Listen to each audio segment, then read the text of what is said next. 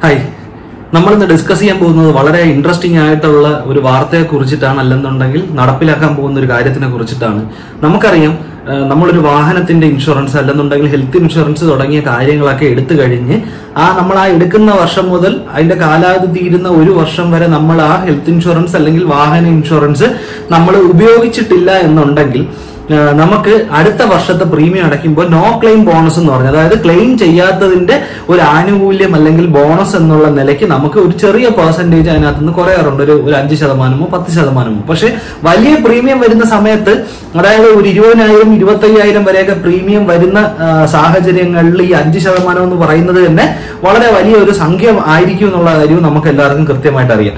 അപ്പോൾ ഈ no claim bonus കിട്ടുമ്പോൾ നമ്മുടെ പ്രീമിയത്തിൽ അടയ്ക്കേണ്ട ഒരു ആയിരമോ രണ്ടായിരമോ മൂവായിരമോ വരെയൊക്കെ കുറയാനുള്ള ഒരു സാധ്യതയുണ്ട്. ഇപ്പൊ ഇന്നോവ പോലെയുള്ള ലോറി പോലെയുള്ള വലിയ വലിയ വാഹനങ്ങളുടെയൊക്കെ ഇൻഷുറൻസ് അടക്കുകയാണെന്നുണ്ടെങ്കിൽ അഞ്ച് ശതമാനം ആയാൽ തന്നെ അത് വലിയ അയ്യായിരം പത്തായിരം അടുപ്പിച്ചൊക്കെ നോ ക്ലെയിം ബോണസ് ആയിട്ട് കുറയാനുള്ള ഒരു സാധ്യതയുണ്ട്. അല്ലെങ്കിൽ ഒരു സാഹചര്യം ഇന്നിപ്പോ ഇന്ത്യയിൽ നിലവിലുണ്ട്.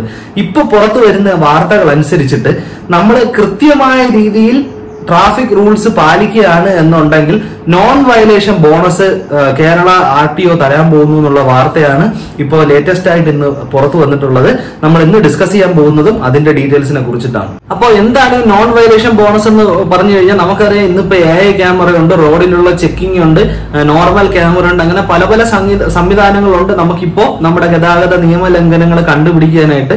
അപ്പോൾ ഇതിലൊന്നും പെടാതെ നിങ്ങളുടെ വാഹനത്തിന്റെയോ നിങ്ങളുടെ ലൈസൻസിന് കീഴിലോ ഒരു രീതിയിലുള്ള വയലേഷൻസും ആ വർഷം വന്നില്ല എന്നുണ്ടെങ്കിൽ നിങ്ങളുടെ അതേ പേരിലുള്ള വാഹനത്തിന് അല്ലെന്നുണ്ടെങ്കിൽ ആർ സി ബുക്കിന് കീഴിൽ വരുന്ന വാഹനത്തിന് നിങ്ങളുടെ ഇൻഷുറൻസ് അടയ്ക്കുമ്പോൾ ഇതേപോലെ നോ ക്ലെയിം ബോണസിനോട് കൂടെ ചേർന്ന് തന്നെ ഈ പറഞ്ഞ നോൺ വയലേഷൻ ബോണസും ലഭ്യമാക്കാനുള്ള ചർച്ചകൾ ഗവൺമെന്റും അതുപോലെ തന്നെ കേരളത്തിലെ എല്ലാ പ്രധാനപ്പെട്ട ഇൻഷുറൻസ് കമ്പനികളും ചേർന്ന് തീരുമാനിക്കുന്നു അല്ലെങ്കിൽ അതിന്റെ ചർച്ച നടക്കുന്നു എന്നാണ് ഇപ്പോൾ വാർത്തകൾ പുറത്തു വരുന്നത്. ഇതിന്റെ ഒരു പ്രധാനപ്പെട്ട ഒരു സാഹചര്യമായിട്ട് അവർ പറയുന്നത് ഇപ്പൊ ഈ ഗതാഗത നിയമലംഘനങ്ങൾ ഇപ്പൊ ഈ എ ക്യാമറയും മറ്റു കാര്യങ്ങളും വന്നപ്പോൾ കുറഞ്ഞിട്ടുണ്ടെന്നാണ് സർക്കാർ തന്നെ ഇപ്പോൾ ഇപ്പൊ അവകാശപ്പെടുന്നത്. സോ ഈ പറഞ്ഞ കാര്യങ്ങൾ കൊണ്ട് തന്നെ നിയമലംഘനങ്ങൾ കുറഞ്ഞപ്പോൾ സ്വാഭാവികമായിട്ടും അപകടങ്ങളും മരണനിരക്കും കുറഞ്ഞു. അതുകൊണ്ട് തന്നെ ഇൻഷുറൻസ് കമ്പനികൾക്ക് പ്രീമിയം കൊടുത്ത് അവരുടെ കമ്പനിയുടെ ലാഭം അല്ല നഷ്ടം വളരെ രീതിയിൽ കുറഞ്ഞിട്ടുണ്ട്. പ്രീമിയം സപ്ലൈ ചെയ്യുന്നത് കൂടുമ്പോൾ കമ്പനിക്ക് നഷ്ടം കൂടും.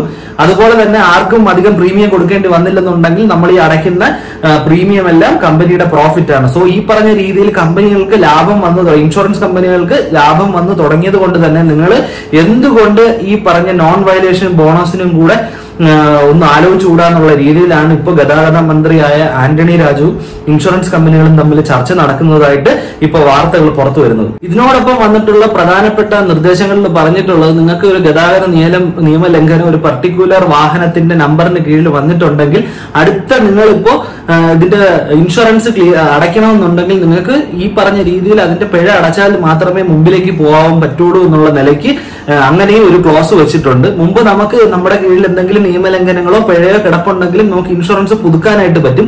ഇത് അങ്ങനെ പറ്റാതെ ഈ പറഞ്ഞ നിയമലംഘനത്തിന്റെ പിഴ ആയിരമോ അഞ്ഞൂറോ അടച്ചാൽ മാത്രം നിങ്ങൾക്ക് ഇൻഷുറൻസ് പുതുക്കുന്ന രീതിയിലേക്കും കൂടെ ഈ ചർച്ചയ്ക്ക് ഒരു മറ്റൊരു സൈഡ് കൂടെ ഉണ്ടെന്നുള്ളത് നമ്മൾ മനസ്സിലാക്കണം.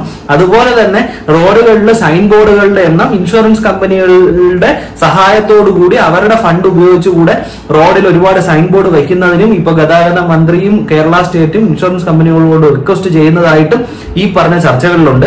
സെപ്റ്റംബർ ആദ്യത്തെയും രണ്ടാമത്തെ ആഴ്ചകളിൽ വരുന്ന ചർച്ചകളിൽ ഇതിനൊരു ഏകദേശ തീരുമാനം ഉണ്ടാവുമെന്ന് അറിയാൻ പറ്റുന്നു. സോ ഒരു രീതിയിൽ ആലോചിച്ച് കഴിഞ്ഞാൽ നല്ലതും മറ്റൊരു രീതിയിൽ ആലോചിച്ച് കഴിഞ്ഞാൽ ചില ചില നമുക്കൊന്ന് ചിന്തിക്കേണ്ട ചില പോയിന്റ്സും ഈ പറഞ്ഞ കാര്യങ്ങളിൽ അല്ലെങ്കിൽ ഈ പറഞ്ഞ ന്യൂസുമായിട്ട് ബന്ധപ്പെട്ടിട്ടുണ്ട്. ഇതിന്റെ കൂടുതൽ കൺഫർമേഷൻ വാർത്തകൾ വരുമ്പോൾ നമുക്കത് ഡിസ്കസ് ചെയ്യാം. പക്ഷെ എന്നിരുന്നാലും ഈ പറഞ്ഞ നിങ്ങൾ നിയമലംഘനം ചെയ്യാത്ത ഒരു വ്യക്തിയാണെന്നുണ്ടെങ്കിൽ ഈ പറഞ്ഞ ഒരു ക്ലെയിമിന്റെ ഒരു ബോണസ് അതായത് നോൺ ഈ വയലേഷൻ ക്ലെയിമിന്റെ ബോണസ് കിട്ടുകയാണെന്നുണ്ടെങ്കിൽ അത് നമ്മുടെ ഇൻഷുറൻസ് അടയ്ക്കുമ്പോൾ അത് പ്രീമിയത്തിൽ ഒരു ചെറിയ വ്യത്യാസം ഉണ്ടാക്കും എന്നുണ്ടെങ്കിൽ അത് നല്ലൊരു ഓപ്ഷൻ ആയിട്ടാണ് എനിക്ക് തോന്നുന്നത്. മറ്റു ഡീറ്റെയിൽസ് വരട്ടെ. അതിന്റെ ഗുണവും ദോഷവും നമുക്ക് ഡീറ്റെയിൽഡ് ആയിട്ട് ഇവിടെ തന്നെ ചർച്ച ചെയ്യാം. അപ്പൊ ഞാൻ ഈ പറഞ്ഞ ഡീറ്റെയിൽസ് ഏകദേശം ക്ലിയർ ആയി കാണുമെന്ന് ഞാൻ വിചാരിക്കുന്നു. ഇത് ഇന്നലെ ഇന്നലത്തെ നടന്ന ചർച്ച അതായത് വ്യാഴാഴ്ച നടന്ന ചർച്ചയുമായിട്ട് ബന്ധപ്പെട്ടിട്ട് പുറത്തു വന്ന വിവരങ്ങളാണ്. മറ്റു ഡീറ്റെയിൽസ് വരുമ്പോൾ അത് ഇതുപോലെ തന്നെ അപ്ഡേറ്റ് ചെയ്യാം. മറ്റൊരു യൂസ്ഫുൾ കണ്ടന്റുമായിട്ട് അപ്പൊ നമുക്ക് നാളെ കാണാം. അതുവരെ കാണുന്നവരെ ബൈ. താങ്ക്